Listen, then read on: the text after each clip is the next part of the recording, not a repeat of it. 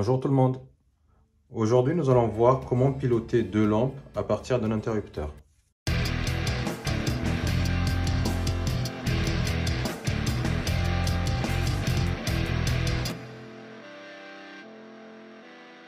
Aujourd'hui, je vais vous montrer trois méthodes pour alimenter deux lampes ou trois lampes ou quatre lampes à partir d'un interrupteur.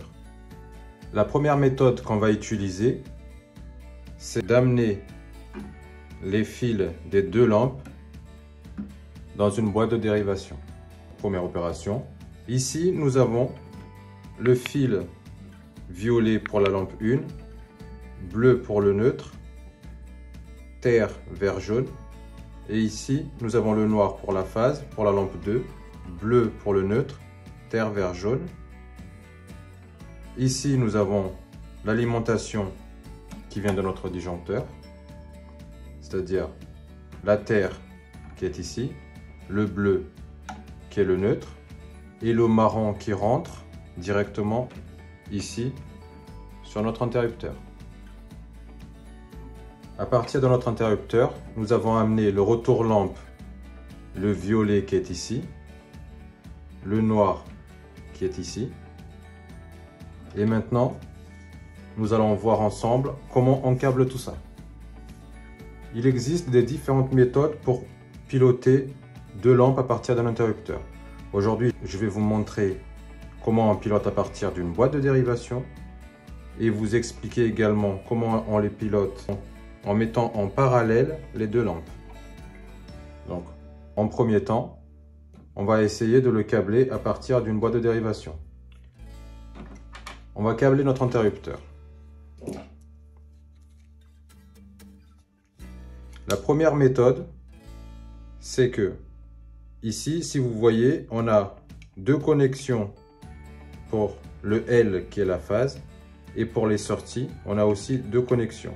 Là, ce que nous pouvons faire, c'est d'amener nos deux fils qui sont là sur les deux connexions. Je vais câbler d'abord ma phase.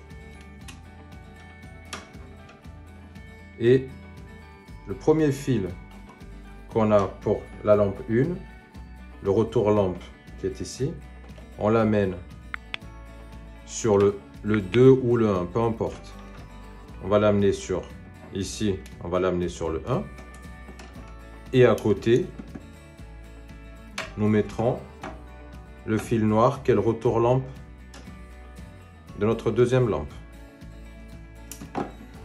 Voilà. Maintenant, nous allons relier nos fils qui sont là. Le violet, on a dit que c'était le retour lampe de la lampe 1.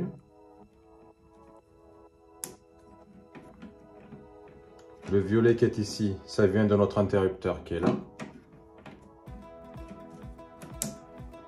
le noir, le retour lampe de notre lampe 2.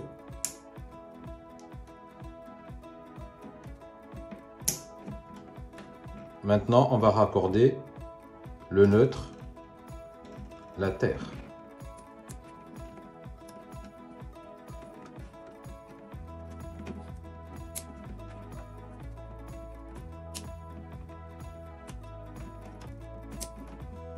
À l'heure actuelle, nous avons fini notre câblage. Donc si on fait un peu de récapitulatif, nous avons notre phase qui arrive de notre disjoncteur, qui traverse directement notre boîte de dérivation, qui va sur notre interrupteur. Nous avons les deux retours lampes, c'est-à-dire le violet et le noir, qui sort de notre interrupteur qui est ici. Ça veut dire qu'ils sont connectés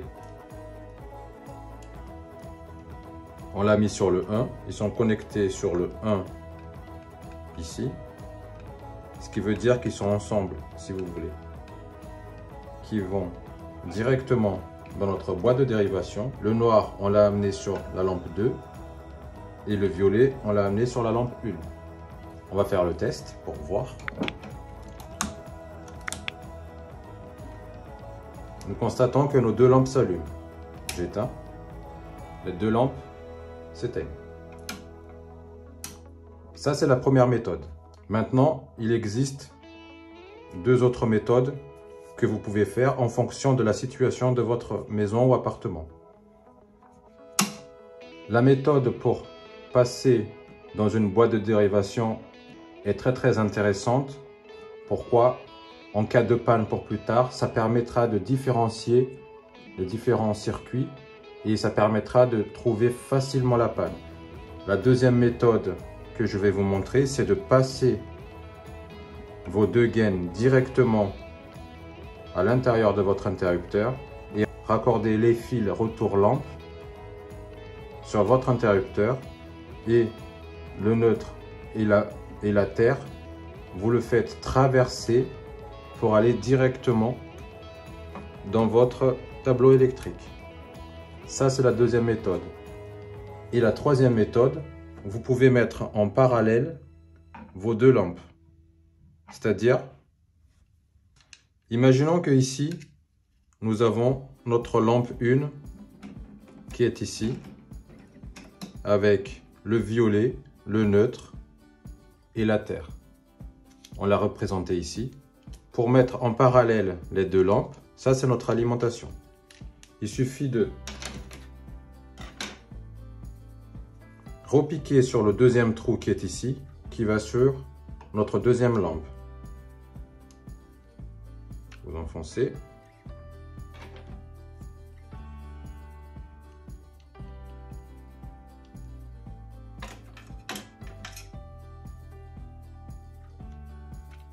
ces fils-là alimentent notre deuxième lampe. Voilà les trois méthodes que je peux vous montrer pour câbler deux lampes ou trois lampes à partir d'un interrupteur. J'espère que ce tuto vous a plu. Je vous dis à bientôt. Au revoir.